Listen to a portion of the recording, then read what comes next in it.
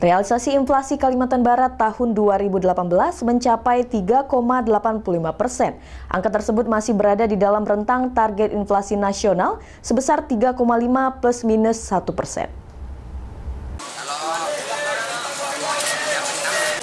Bank Indonesia dan pemerintah Provinsi Kalimantan Barat beserta stakeholder terkait lainnya yang tergabung dalam tim pengendalian inflasi daerah terus mengupayakan agar realisasi inflasi Kalimantan Barat bisa dibawa realisasi inflasi nasional atau setidaknya tepat berada di dalam rentang target inflasi nasional.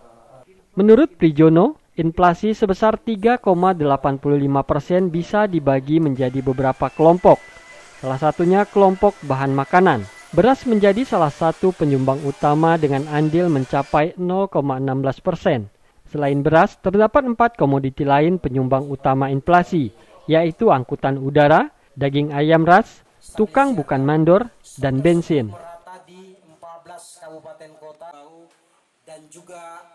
Tahun 2020-18, inflasi nasional 3,13, inflasi kalbar 3,85. Dua-duanya berada di dalam target sasaran inflasi nasional. Target rentang ya kalau saya target atau sasaran rentang inflasi nasional. Tetapi yang saya sebut kemarin, inflasi kalbar itu di atas inflasi nasional.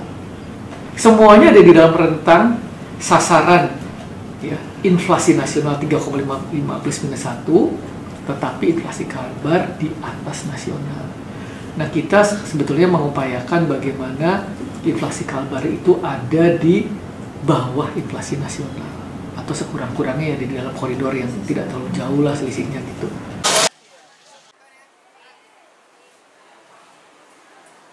Prijono menambahkan inflasi Kalimantan Barat berasal dari dua kota sampel, yakni kota Pontianak dan kota Singkawang. Untuk tahun 2018, kota Pontianak inflasinya 3,99 persen dan kota Singkawang 3,18 persen. Dari Pontianak, Berlian Pasore melaporkan.